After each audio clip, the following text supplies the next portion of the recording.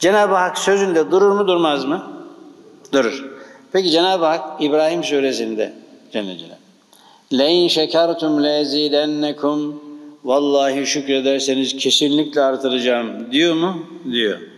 Peki bu vaad ilahi gerçektir. Şükredelim. Şükredelim, seyredelim.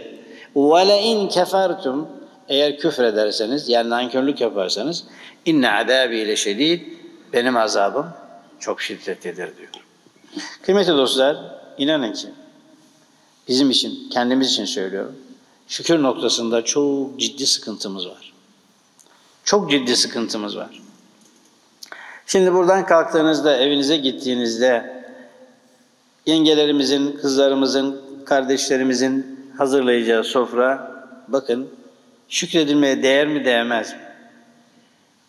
Şükredilmeye değer mi değmez mi? Biz arkadaşlarımızla Burkina Faso diye Afrika ülkelerinden bir ülke var. Medreseler için oraya gitmiştik. Burkina Faso'da birkaç gün köyden köye gidiyoruz medreselerin açılışını yapmak için veya temelini atmak için. Ya bir bardak ayran bize ikram etme durumları olmamıştır. Bir bardak ayran ikram etme durumları olmamıştır.